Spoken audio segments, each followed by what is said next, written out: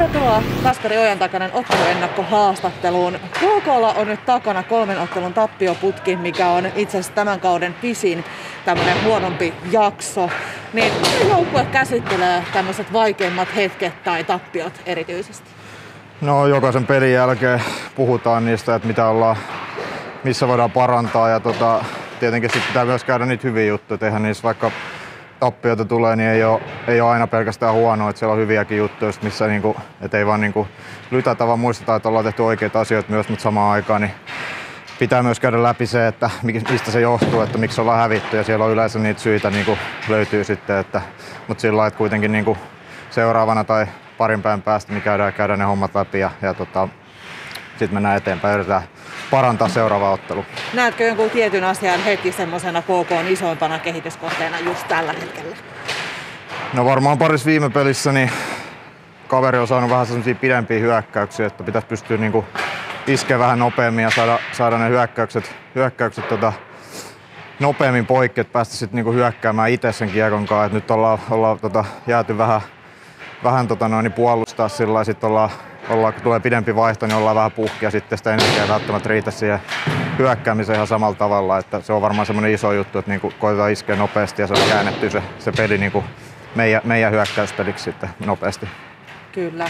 Lauantaina vastassa Sport. KK on kaksi kertaa kohdannut Sportin tällä kaudella ja voitettu molemmat matsit. Niin, äh, miten Sport vastustajana asettuu KK vahvuusalueelle? No mun mielestä ihan hyvin, että ne puolustaa mies miestä vastaan ja meillä on, meillä on hyvin liikkuva joukko, varsinkin isossa kaukalossa, niin sitä pitää pystyä sitten hyödyntämään. Että, tota, että, että pidetään vain jalat liikkeessä ja, ja tota, uskalletaan pelaa kiekolla, niin, niin olla, ollaan kyllä aikaisemmin saatu niin hyviä, oho, hyviä tuloksia aikaiseksi. Että, tota, ei, siinä, ei siinä mitään se kummallisempaa. Että varmasti niin kuin taistelupeli tulee ja kamppailevat kovaa ja, ja pelaavat sillä niin kuin, siellä on hyvä, paljon joukkojen muuttunut myös, niin tota, niin, niin valmiina pitää olla, mutta kyllä mä näkisin, että jos me, jos me pelataan vaan palataan sille omalle tasolle, missä oltiin muutama peli sitten, niin tota, hyvä tulee. Jos ei lasketa matkustamista, niin näetkö tällä hetkellä hirveitä eroja koti- ja vierasmatseissa? Etenkin nyt, kun yleisö tietysti puuttuu jokaiselta paikkakunnalta.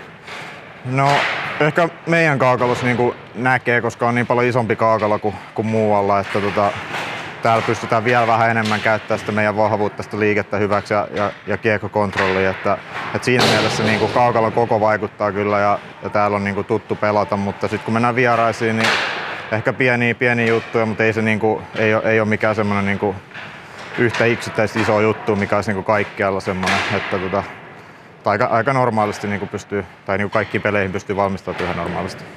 Hyvä.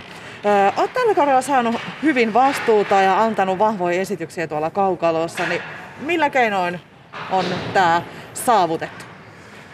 No työnteon kautta, että pikkuhiljaa niin kuin aina yrittänyt vaan vetää täysillä ja, ja tiedosta niin ne omat vahvuudet ja mitä kautta sit niin kuin hyvät pelit yleensä syntyy. Ja sitten tietenkin itseluottamukset tai onnistumiset ruokkii itseluottamusta, niin, niin, niin tota, kun tulee vähän parempia pelejä alle ja hyviä suorituksia, niin totta kai se aina vaikuttaa positiivisesti, että siitä uskaltaa vielä vähän enemmän pelata ja lisää vastuuta tulee tälle ja pääsee paremmin rytmiin, niin varmaan siinä on ne isoimmat jutut, mutta ei mitään semmoista niin ehkä tiettyä, tiettyä että periaatteessa niin joka peli vaan valmistautua samalla tavalla ja, ja, ja sitten tehdä parhaansa ja käyttää niitä omia vahvuuksia hyväksi, niin yleensä silloin aina tulee se paras tulos. Onko nämä nimenomaan ne terveiset, mitä haluaisit vaikka meidän junioreille sanoa, että sitten sitä vastuuta tulee, niin näillä merkeillä sitten vastuuta voi saada lisääkin? No totta kai, vähän pitää analysoida omaa tekemistä ja, ja, ja tunnistaa, että missä on hyvä ja totta kai sitä aina heikkouksiakin pitää kehittää niin kuin tietenkin, mutta, mutta tietää, että missä on hyvä, niin silloin kun käyttää niitä hyväksi, niin yleensä, yleensä hyviä asioita tapahtuu toivotaan, että hyviä asioita tapahtuu lauantaina sporttia vastaan. Kiitos haastattelusta ja tsemppiä lauantaina. Kiitos.